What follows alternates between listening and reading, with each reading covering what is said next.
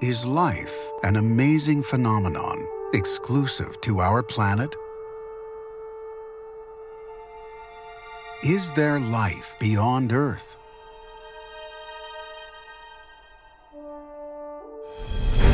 Humankind has always asked itself this question, but no answer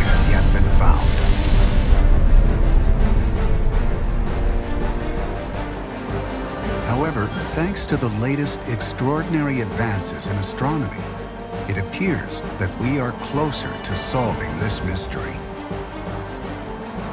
State-of-the-art space probes explore planets and moons in our solar system, while sophisticated telescopes scan the universe looking for answers.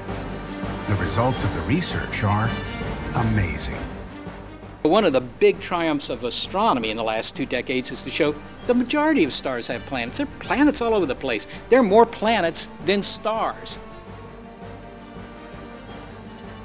These findings have been made possible thanks to the NASA space probe Kepler, whose launch in 2009 marked a milestone in the search for life beyond the boundaries of our solar system. We now know that in our galaxy alone, there are billions of Earth-like exoplanets. Given the vastness of the universe, with more than 100 billion galaxies, it is hard to conceive that somewhere there is no Earth-like planet that can harbor life. Finding it is simply a matter of time. It's a game changer. It changes what we think about the possibility for life somewhere else. Exoplanets and extremophiles, two game changers. This leads us to think that in apparently harsh environments in our solar system, there is now, or may have been, life. We may find some form of life in the strange methane lakes of Titan in the oceans hidden under the mysterious icy surface of Europa, in the gigantic geysers of Enceladus, or in the desert plains of Mars. The second genesis within the same solar system implies that life, the origin of life, is a likely event.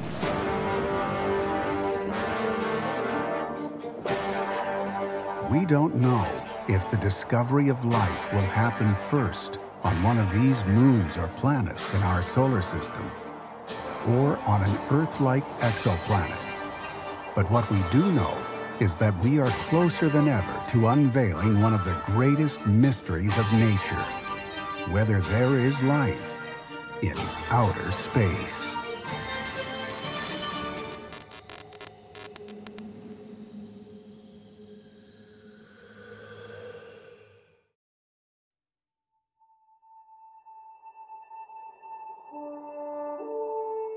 Life. An unbelievably perfect combination of elements able to create living matter.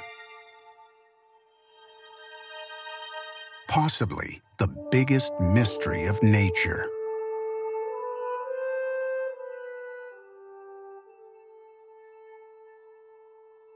A combination of matter that shows certain attributes that include responsiveness, growth, metabolism, energy transformation, and reproduction.